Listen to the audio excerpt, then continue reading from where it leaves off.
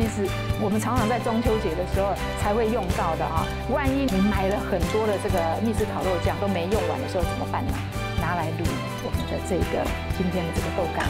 这个一个是葱花，还有一个是这个火腿，然后两个一定要挑过。好，中间呢抹一点水，这时候不是抹油，要抹水啊。哎，对，一定要让它合起来。好，合起来之后呢，我们来个筷子，筷子记得要沾粉哦，筷子要沾。筷子要沾粉，不是沾水哦。沾粉，好嘞。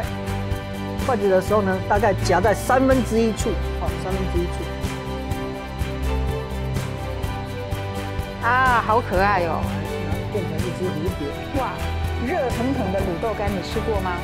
这个是我们今天呢带来的啊这个蝴蝶花卷哦。